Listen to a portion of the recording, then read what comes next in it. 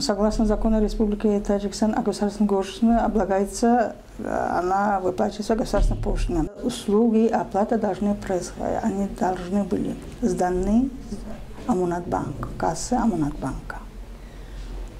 Получены, и нотариус, получив квитанции, она должна потом совершать нотариальные действия. Это установлено законом. Раньше было. Вот времена советские там было прямо написано в законе, что можно наличными, можно вот так вот. Раньше было. А такую норму убрали наличными. А сейчас закон требует, чтобы только, только, только после оплаты в банках, амонат-банках, потом совершить нотариальные действия.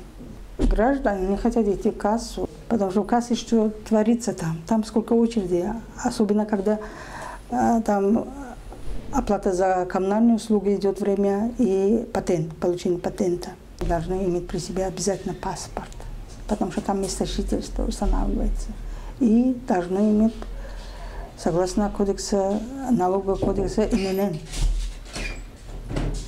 Идентификация. Да, налогоплательщика даже, потому что госпошлину не принимает. Отказывается принимать. Люди приходят, они бегают. Очень трудно с ними.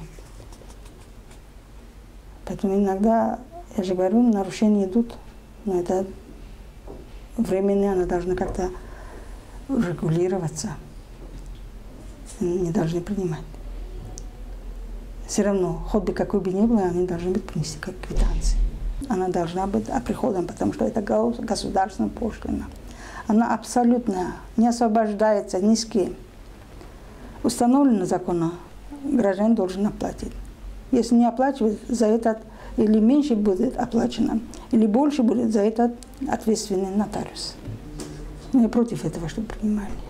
Потому что как-то человек, она, даже если только мы будем госпошлину платить и завтра получить это квитанции, это гражданин о совсем другом будет думать. Скажет, что, может быть, нотариус взял мои, деньги. Вот да. Неправильная оценка будет работать над.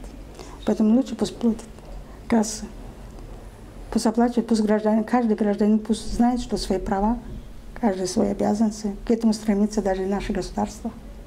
Каждый гражданин имеет право знать, сколько он платит. Он может требовать у нас даже с архива копии квитанции. Отдаем копии, пожалуйста, это его договор, его действия. За что платит копии, мы отдаем. И вдруг ему надо отчитываться где-нибудь.